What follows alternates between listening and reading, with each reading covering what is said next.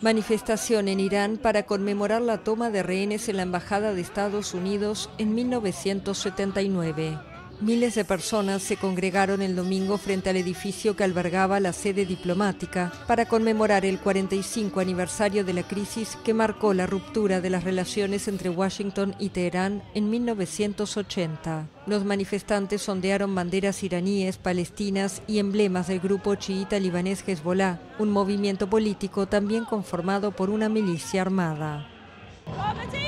Las relaciones entre Irán y Estados Unidos no pueden reanudarse. Hemos mostrado nuestra honestidad a Estados Unidos muchas veces, pero Estados Unidos no quiso nuestra honestidad y en cambio trató de avanzar con más artimañas. Por eso el imán Jomenei dijo que Estados Unidos es el gran Satán y nuestro enemigo. La antigua embajada es ahora un museo bautizado La Guarida de los Espías y en sus muros hay consignas antiestadounidenses.